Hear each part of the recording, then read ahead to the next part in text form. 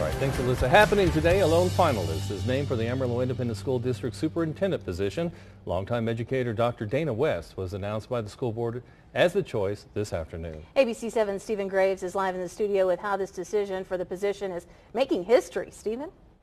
Lisa Larry West would be the first woman in the 126-year history of AISD to take the position. Her colleagues say this, the decision was an easy one to make with her impressive re resume of educational experience. In a crowded room filled with applause, Amarillo ISD's newest leader was welcomed with open arms.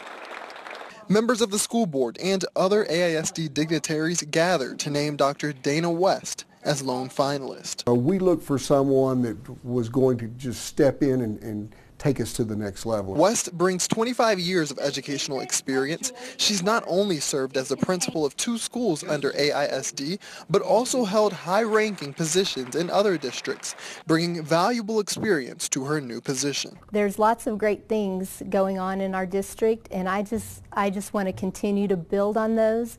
And the way that I'll do that is by hearing what, what ideas are in our community. Amarillo ISD would welcome West with much success, but also a time where specific challenges are facing the district, like student poverty and a high number of refugee families. Dr. West is going to have to deal with not only our, our, our gifted and talented students, not only our, our uh, special education children, but also these children who, who deal with uh, uh, poverty and, and come from an economically disadvantaged background. Dr. West will replace 43-year AISD leader Rod Schroeder, who's leaving the superintendent position after 15 years.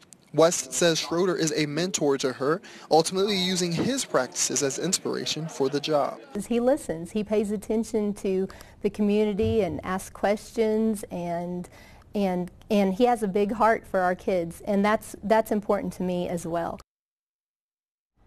Now, West currently works as Caprock Cluster uh, Director. She was chosen after numerous internal interviews, and once West is officially voted on as superintendent, she'll start at the beginning of the next school year. Reporting from the Kennedy Broadcast Center, Stephen Graves, ABC 7 News.